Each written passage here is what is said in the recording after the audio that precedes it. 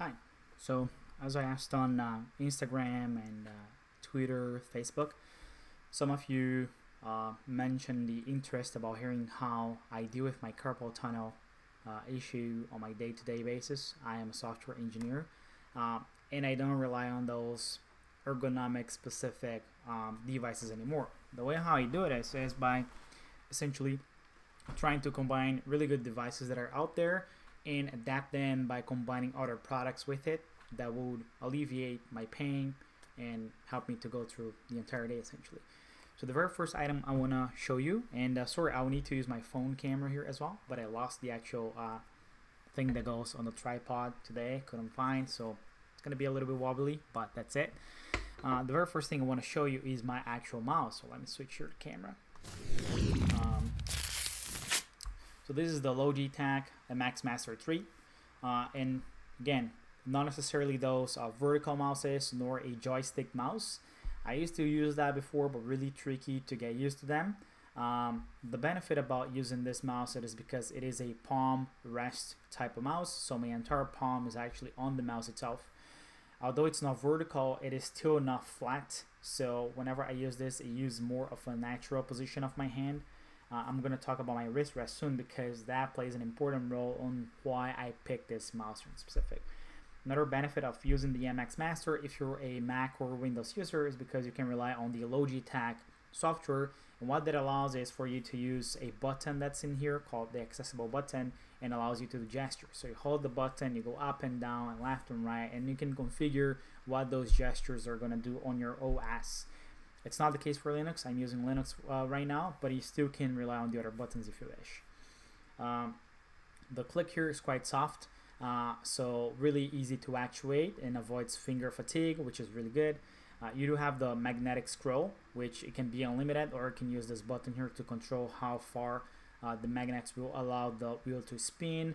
You have buttons here uh, in my case to go back and forth on the web page and you have horizontal scroll. Now the benefit again of using this on Windows or Mac it is because you have the software and every single button you see is remappable. So let's say you're using Photoshop you can map this per application.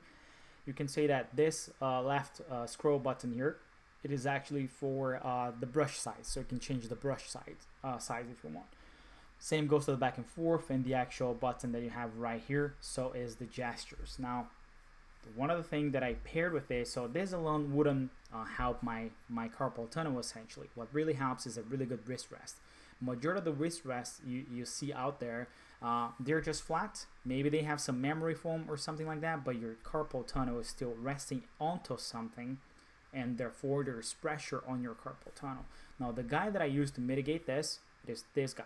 And the way how it works is you rest your wrist like this and it just follows along. Now let me switch the camera so I can talk a little bit better about this product in specific. So that was my mouse and this is the wrist rest. Okay, here we go, let's focus. Here we go. So this is called Carpio 2.0 and it's made by Delta Hub, this company right there or right here, Delta Hub. So essentially what it does is it is a wrist rest uh, designed for carpal tunnel where your wrist lays like this onto it. It has a gliding fit so it can actually glide on your mouse pad, follows the mouse as well. It's not stationary, which is really good. And as you can see, it kind of forces your hand to sit in the proper position given its shape.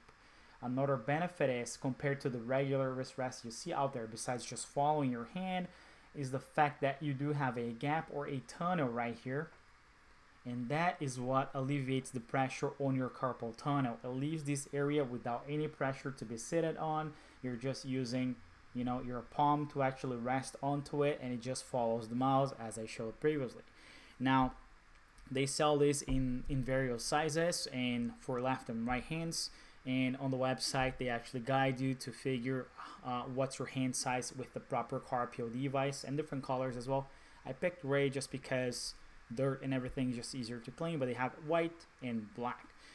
My case, I have two, one for the left side, one for the right side, um, because I have carpal tunnel issues on both wrists. Um, sure, I do use this a lot with my mouse, but then I do also use both with my keyboard, uh, just because again it alleviates the pressure right here, which is really, really beneficial. Now, that alone doesn't necessarily help me. I mean, it, I can go through with no pain throughout the entire day, but that's just my mouse. I do type quite a lot because, you know, software developer. And now, on typing, I do rely on this as well as I mentioned because then again, I can rest my wrist, alleviates the pressure on the carpal tunnel, but nothing would be as beneficial as having a really good keyboard for that. So there are tons of keyboards out there. You can try the membrane keyboards that Logitech does offer as an example, such as the MX series. Uh, and it's really good because really low profile, uh, really uh, fast actuation as well. You don't need to put that, mu- put that much force. But I tend to prefer uh, to optical keyboards. Sorry, not optical, but mechanical keyboards. And I'm going to tell you why soon. One of the things I've used in the past was actually those split and ergonomic keyboards. Never got used to it, and that bothered me really, really a lot. Uh, and that's why I started using membrane key- keyboards back in the days, just because again, fast actuation, and then you know you still can uh, rest your your wrist on those crappy uh, memory foam uh, wrist rests essentially. But it was just working fine for me until I started getting more into mechanical keyboards. Um, the reason being they're fully customizable, right? So you can get um, fixed uh, switch keyboards, mechanical keyboards, where then you need to solder and desolder switches if you want to, or in this case, I have a hot swappable one. So now let me first talk about the actual size of the keyboard. Let me switch the cameras to show you real quick. So this is what they call by a 65% layout or 65 layout essentially, where you still have the arrow keys, you still have the home cluster on the vertical, uh, and the benefit of using this, it is not necessarily ergonomic by being split, but it is ergonomic in a sense where it just sits nicely in front of you and you're just resting your wrist on your wrist rest in a really natural position essentially and typing. Uh, whenever you have those with the numpad, uh, you know, the keyboard tends to be seated more on your side because you still need space for the mouse. In this case in particular, the mouse has its own space and I type right straight in front of me. Um, there is another variant, which is the TKL or 10 keyless, where you have the arrow keys here on the side and the home cluster without the numeric, uh, the numeric uh, pad, but it still takes a considerable space. I found that the 65 is really good because I still have uh, the arrows and the home cluster so I can go through my editors and everything. I don't necessarily have the function keys right here, but I'm going to talk about this later because everything here is remappable. Now there are smaller variants such as 60 and even 30% where you have only the letters, but then you gotta get used to typing with the proper function keys to be able to access the different layers on the keyboard. Uh, sure, it is slightly better because it's a smaller form factor, therefore you have more space to the mouse here on the side, but never got used to it. So now I'm gonna go back to my face a little bit because you're getting tired of holding the phone. Now the benefit of using a mechanical keyboard like this, it is because first it is hot swappable, so I can use any switches I want. So the switch is essentially the little thing that goes between the keycap, you know, the one with the letters and the actual keyboard plate. Uh, and the benefit of being able to switch the switches is that a switch in specific might cost you around, you know, 70 cents or so. Um, and as much as that sounds cheap, you have tons of keys on your keyboard, and that can add up to maybe 50 or even 70 bucks, even pricier than that, depending on the switch you're talking about. You add lubing, so then you have proper, you know, uh, proper clicking, no noise and everything, and that can get really pricey. So there's one thing they sell online called Switch Tester. What it can get is it's like a tiny keyboard, like four or five spots or so. You buy just individual switches, 70 cents each one, and you can test the switch you like the most. Now, switches are not only about sound, as people might think. In my case, I pick because of sound, one of them. I don't like clicky switches at all. I'm always in meetings, so I need quiet switches. Uh, but I also rate spring. So the, the spring inside of the switch as well is something you can look after and they have different rates. In my case, as far as I'm concerned, I believe mine is 52 or 57 grams to actuate. You have things such as the whites or even MX silvers where it can go up to I think I think the, the the maximum force is like 35 grams to actuate. So it's really light and if you have finger fatigue that's really good. In my case I found that 65 it is my limit where it it's not gonna give me any finger fatigue yet I can just rest if I wish my fingers into the keyboard and it's not gonna accidentally press any keys uh, it is for sure lubed just because then it is a smoother actu- actuation and quiet uh, and in this case here it's a linear switch so it's a linear actuation there is no click and there is no tactile feedback as well it just goes down and that's pretty much it my switches are called Silk Emeralds, and that's just because they're a special version of the Silk Yellows, also made by Novel Keys. Um, this is these are the specs of my switches. Now the keyboard itself. Let me go back to the keyboard now that my hands are better. Um, this is an NK65 or Novel Key 65. As I mentioned, it's a 65% keyboard. Uh, and the benefit about this keyboard is that it is fully customizable and hot swappable. So this starts at 95 US dollars, I believe, with no switches nor keycaps. And sure, you can keep adding as much as you keep switching your switches and keycaps. That can go crazy. Like there are keycaps that are like $100 or so, and some of them they do benefit you from better typing. Some are just because you're fancy or whatever. In this particular case, this was a 195 US dollars board fully assembled with the switches I picked and the keycaps I picked. Uh, this is the Random Frank P version actually, and um, one of the benefits of the NK65 in specific, now let me switch the cams because my voice is really is that it is compatible with VIA. So whenever we're talking about custom keyboards, there are proprietary firmware, and then you gotta use the keyboard manufacturer software, which might not be compatible to your operational system. In my case, I use the three major ones. Linux, Windows, and Mac OS. So Linux is something that I use on a daily basis. I program on it, and I really need something that works on it. So using an open source firmware such as QMK is something ideal. Now in this particular case, this keyboard accepts QMK and also VIA. So VIA is a fork or an enhanced version of QMK, whereas QMK, every every single mapping you do, you need to reflash your keyboard. In VIA, it is actually kind of real time. So every time I change your configuration, it automatically applies to the keyboard. The benefit of using any of these is that uh, I can literally remap anything I want on my keyboard. As I mentioned, it's a smaller profile. I need to get used to the keys. Maybe I need to add multimedia keys. I need to add the volume keys, whatever I need to do. So you can do that. You can configure and it persists the configuration to the keyboard. So if I plug to another device, even if they don't have the VIA software installed, uh, it still works out of the box. If they do, I can just load their VIA configuration on the fly into my keyboard as an example, uh, which I do I do use a lot. So whenever I'm switching between Mac OS, uh, Windows, and Linux as an example, I have VIA installed in all the three, and they have their different configurations, which just gets loaded on the fly. But if it wasn't the case, if I had the software in just one of them, I could still load the profile and uh, persist and then it would just work on the other one, not a big deal. Now, this one in particular has what they call by layers. By using the function key or FN key on your keyboard, you can access multiple layers on your keyboard. So let's say you have three layers. This means that whatever you type without holding the function key will do something, and then if you hold the function key, will do something else, and so on. Um, one of the benefits as well is that let's say you have VIA installed in just one of your OSs, but not on the other ones, you can have layer per uh, operational system as well. So maybe my layer 0 is my Linux, and then if I hold function, it's going to access some of the layers on my Mac OS, such as the media keys for Mac OS. Uh, but if I do VIA, then I can have several layers for my Linux and several layers for my Mac. So maybe I can use macros because you can do macros on this thing. So then I can have layers with macros on my Linux that will allow me to automatically compile Java, compile whatever we want to compile, and then the same thing for Mac OS um, and things like that which is really good. So again, the benefit is a small form factor. So it's right in front of me for me to type. I can use my Carpio on it as well, and my mouse is resting right on the side.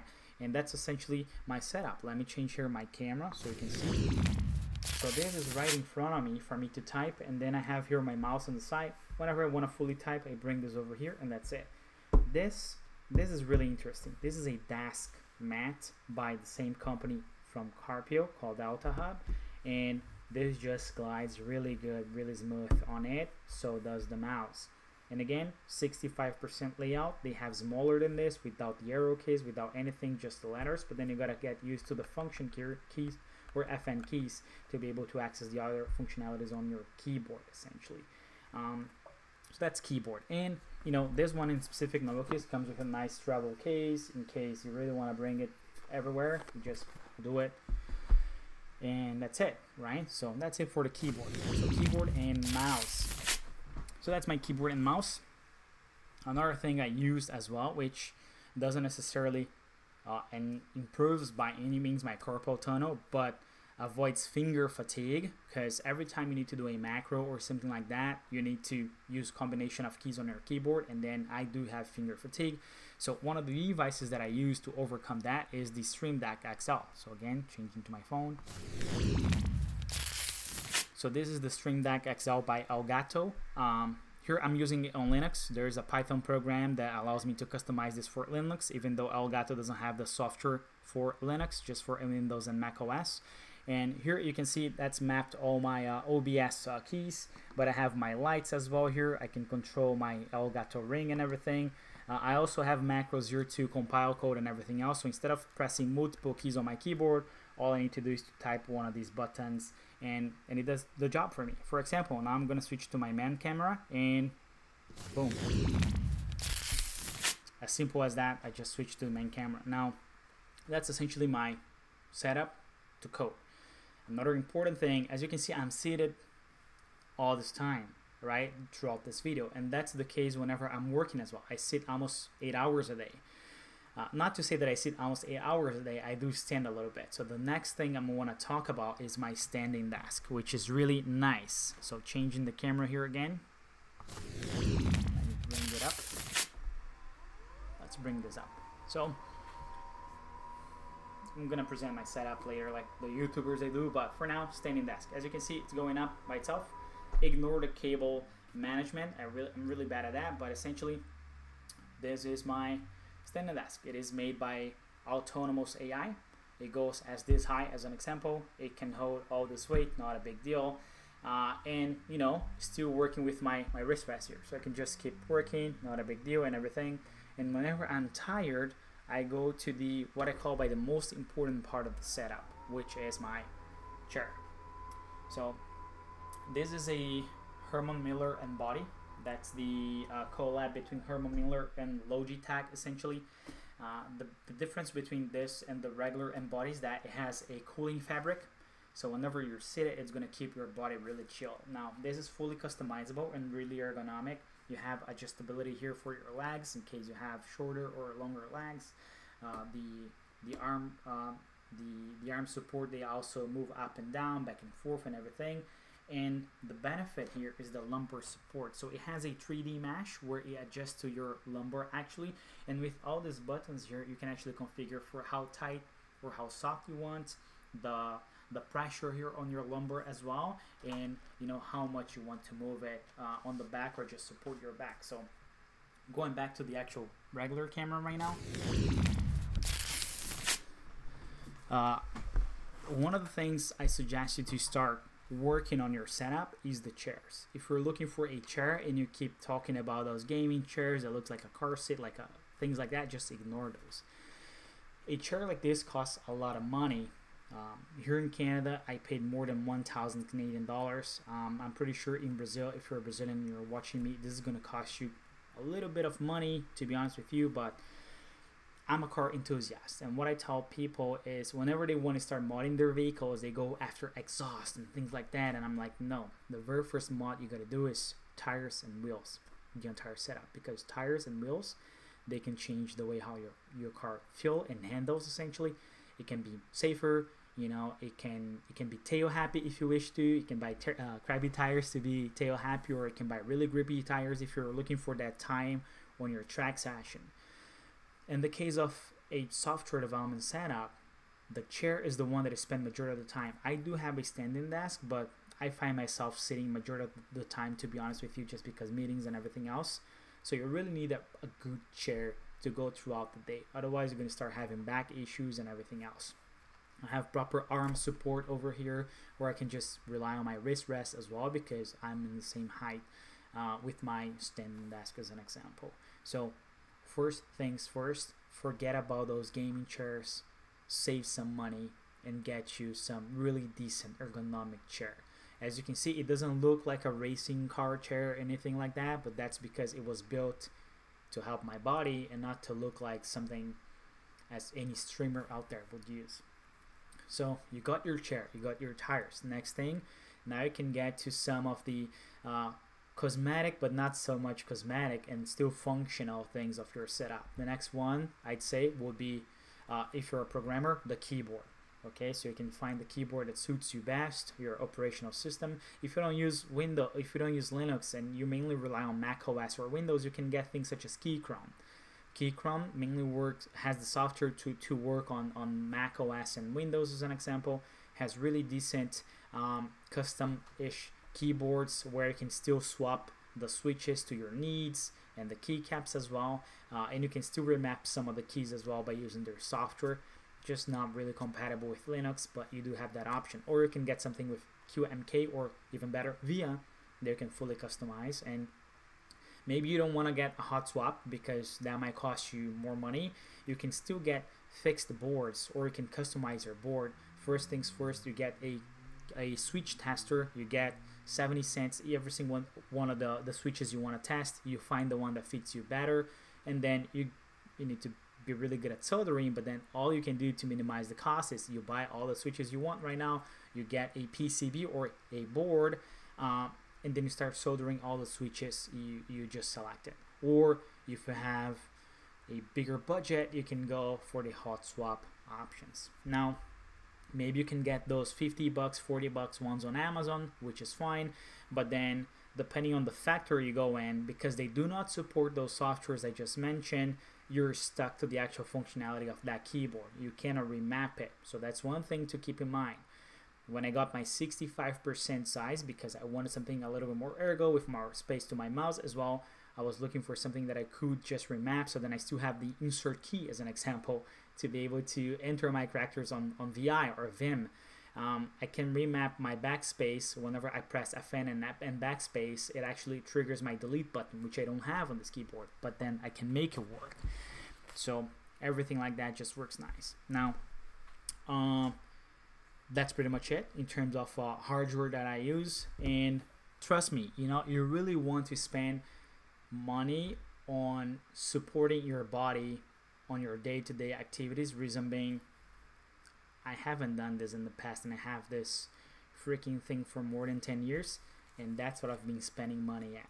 So those are all recommended by my doctors to be honest with you and i have more than eight of these uh, throughout the house and this is one of the most sturdy ones that i have. It's all metal in this mesh so it's good for my body and then i have all the metal metal things. Whenever it's really painful my wrist i use this one here and then i just rest throughout the entire day so then I can get to the next day brand new uh, or whenever I'm not working or anything like that I just regularly use this one which is a little bit more flexible I have more flexibility to do my stuff and uh, if I need to lift some weight or something like that I tend to use this because then it just helps to keep uh, my my wrist in a really good shape essentially but you don't really want to spend money on these. You know, like these are not cheap either. These these are not like 10 bucks. These are like $70 each, you know. These I actually spent $100 and I have two of these. So when you start summing everything you actually spent money just to support the issues we've been going through and now you realize you can actually put money that will work for you in the long run in your setup if you don't have that issue yet, if you don't suffer from carpal tunnel, but you're a developer, I mean, you'd rather just spend money on a mouse like this and on the wrist rests than putting money towards, you know, these things here essentially. So again, I, I understand it does cost money, but it pays off in the long run. That's essentially my setup. That's what works for me.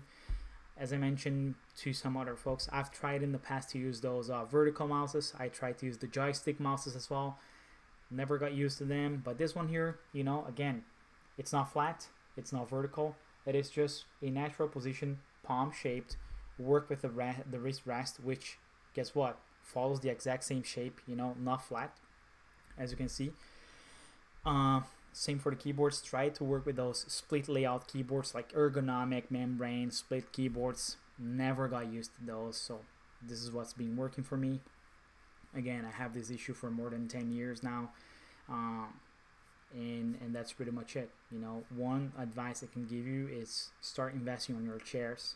Back pain is really serious. Um, really nice desk. You can stand even if you stand just 30 minutes a day, that's better than nothing. And then you go to the keyboard because you type a lot. And then the mouse. Ignore the gaming chairs, ignore gaming keyboards, ignore gaming mouses. They have a purpose, which is gaming. If you're working, you need a better, better purpose, which is fully functional and ergonomic because trust me i'm not that old but i feel like i'm, I'm extremely old just because of all the pain i go through um, if you have any questions in specific uh, to any of those products I'm showing, you know, the Carpio, they go usually around 40 pounds. It is in pounds. Uh, this one here got sent to me from Slovenia. The same about the desk pad from Delta Hub. So that this is a Delta Hub Carpio 2.0. Okay, it is written as Delta Hub, like in the pouch. Every single one of them comes with a pouch that you can put in the, the carry and you can travel with it. Um, they do offer uh, discounts for combos. So two of these actually costed me 70 pounds, which yes, it does sound like a lot of money, but I'm pretty sure people out there, they spend tons of money on those Razer mouse pads anyway. So way better option for you. Um, the mouse, this goes around um, $130 Canadian, uh, which for some of the viewers that might be in Brazil, that might sound like a lot of money because it is, but again, it is all about your health and letting you go through the entire day, which contributes to your performance as well and efficiency. And the keyboard, the novel keys, this is called NK65 entry model. Uh, this starts at $90 as I mentioned, and um, it doesn't come with switches nor keycaps, so you gotta add that, and then you can get to the unlimited value. To be honest with you, this in particular costed uh, 195 uh, US dollars, but that's because it was a pre-built, the Random Frank P edition. So it is a plastic uh, case, not aluminum. They do sell aluminum if you want to. Um, it comes with silk emerald switches, as I mentioned, which is just a, a different color for uh, the silk yellows from the same brand, um, Novel Keys, and the Random Frank P keycaps, which are, in this case, I believe they are PBT. So PBT keycaps they're better than ABS because they don't shine like you know like those keyboards you use too much like it's all shiny.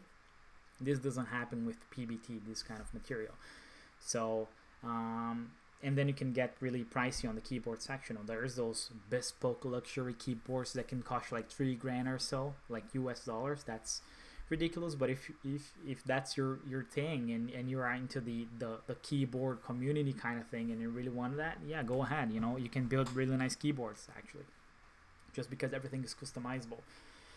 But again my pro tip is get one that has a software for the platform you're looking to use because then you can remap pretty much everything. And again hot swappable makes your life easier because it might cost you a little bit more money to have a PCB that's hot swappable but whenever you want to switch your switches, you just do it and you can get one with the actuation force you want based on the spring rate you want. In my case, again, it's a 65 gram actuation. You can get MX Silvers, which I believe are 35 grams, so really, really easy to actuate the keys. You can get tactile linears, even clicky, which I don't like.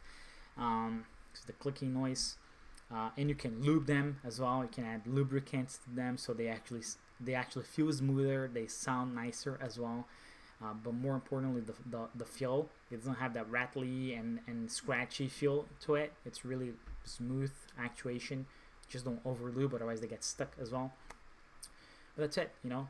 If you have any questions in specific to any of the specific uh, products including the stream deck just hit me and i can make another video about them.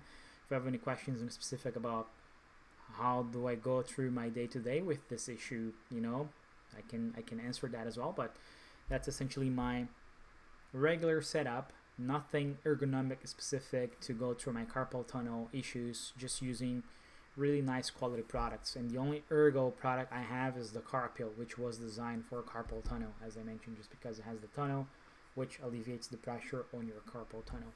But that's it. Thanks for watching